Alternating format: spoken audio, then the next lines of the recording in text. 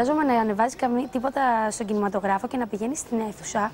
Αυτό μου το έλεγε ο Χριστόφορος. Και πήγαινε πίσω-πίσω ο Παπακαλιάκης. Για να δει πώς αντιδράσουν οι Και έβλεπε θεατές. πώς αντιδρούν οι τηλεθεατέ. Οι, Οι θεατές. θεατές, Ναι, ναι, ναι.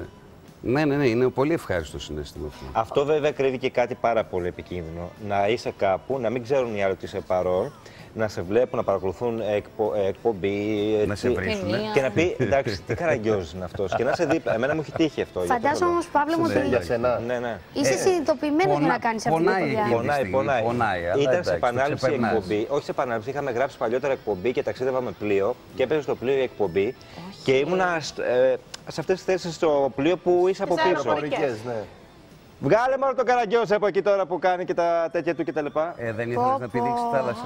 Ε, Να σου άλλαξες θέση για να μην σε δει ότι είσαι εκεί έξω. Ένιωθα ότι πω, πω, άμα σηκωθώ τώρα και με δείτε, τι θα κάνω. Δεν με κοιτά, Ναι, πες αλλά καλησπέρα, τι πρόσεξε κάνετε, όμως. χάρηκα δεν- πολύ. δεν είμαι Κάτι τόσο άλλο. γενναίος. Αυτό όμως αυτομάτως δεν σε συσπήρωσε να προσπαθείς να γίνεις καλύτερος. Όχι.